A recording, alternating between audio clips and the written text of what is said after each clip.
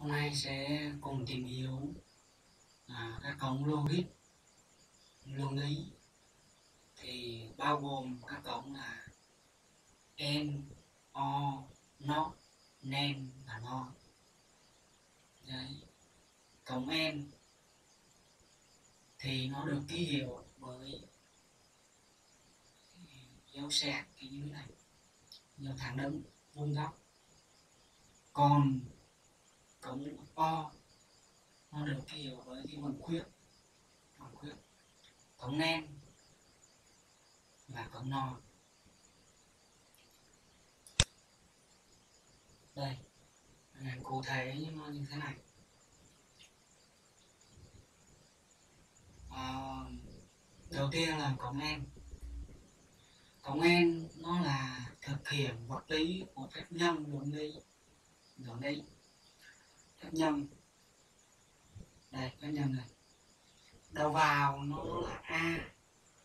Hai tín hiệu ab và đầu ra nó là tín hiệu c. C nó sẽ bằng a nhân b. Trạng thái của nó là như thế nào? Trạng thái của nó đầu ra là à, tín hiệu sẽ là một. Nếu tất cả cái đầu vào là một. Đầu ra nó sẽ là một. Một một. Thì đầu nếu đầu vào nó là cùng một một thì đầu ra nó sẽ là một. Ta ví dụ như là giả sử là à, một là đèn tắt không là đèn sáng. Như vậy khi mà chúng ta à, cùng tay ra sớm nhé. Khi mà hai công tắc này đều ở, là nó ở vị trí một một. Là nó đều ở vị trí một một. Thì output nó ra là một. Đầu ra nó là một.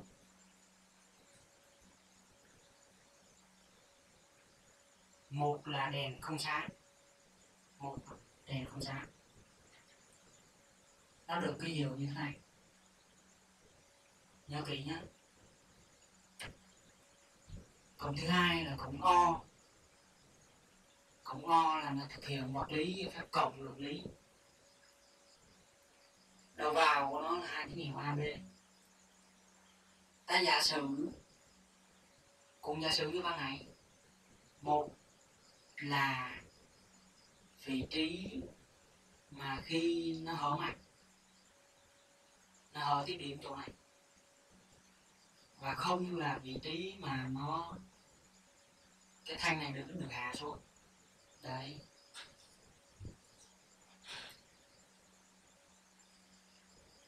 Như vậy nếu mà cả hai cái này đều ở vị trí một một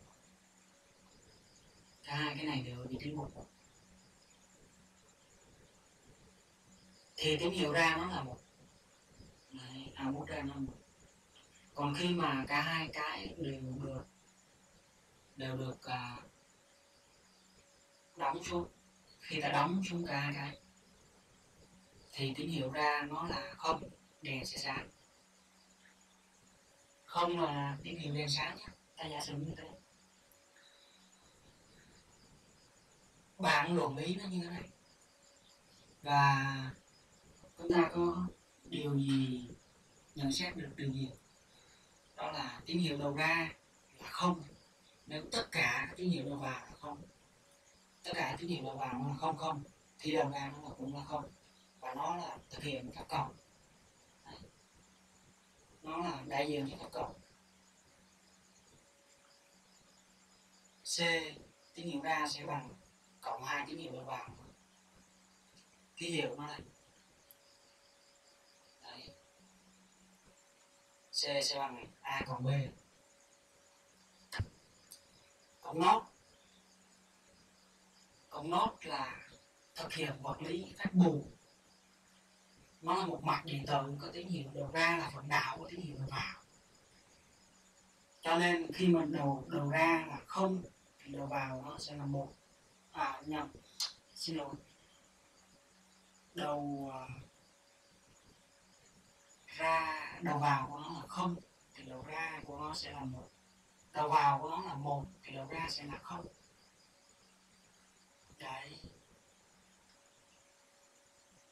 Và để mà thực hiện phép nốt này thì người ta cái hiệu phép nốt này người ta có cái dấu gạch ngang ở phía trên. Đấy, cái dấu gạch ngang cộng men cộng men được tạo ra bởi cộng n và cộng nốt bởi cộng n và cộng nốt cộng n cộng n này, nó là phần bù của cộng n Đấy. nếu tín hiệu đầu vào của nó là một một, thì tín hiệu ra của nó sẽ là không. Cống ra của nen sẽ là không nếu tất cả cống vào là một. Đây, ba cái còn lại nó là một. Chỉ riêng cái này là không. AB nó sẽ bằng nghịch đảo của cái A cộng nghịch đảo cái B. Và bằng nghịch đảo của hai cái này nhân với nhau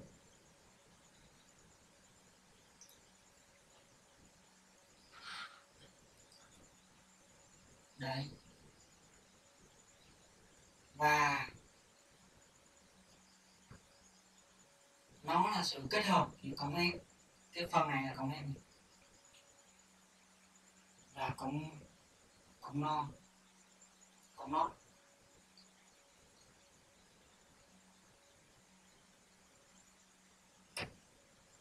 cộng no cộng no nó phần bù cộng no nó là sự kết hợp giữa cộng o và cộng nó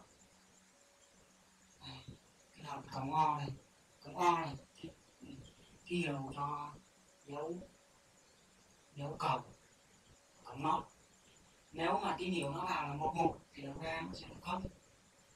Đúng không? Nếu mà khi mà một một nó qua cổng nó qua cổng uh, o thì nó sẽ trở thành trở thành trở thành gì? Trở thành một và nếu mà nó qua cổng nót nữa thì nó sẽ trở thành không cổng no thì nó sẽ là một khi tất cả các đầu vào của nó không. Và nó ký như thế này. Đấy. Ở phía trên. Nhân với nhau. Mục đích chúng ta biết cái này là để làm gì? Để chúng ta xây dựng nên các mạch logic xây dựng ra mạch en, mạch o, mạch no. Để giả sử một cái mạch này.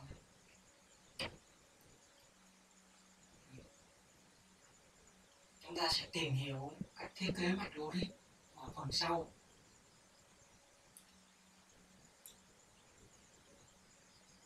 Bài nhật ký học tập đến đây là kết thúc.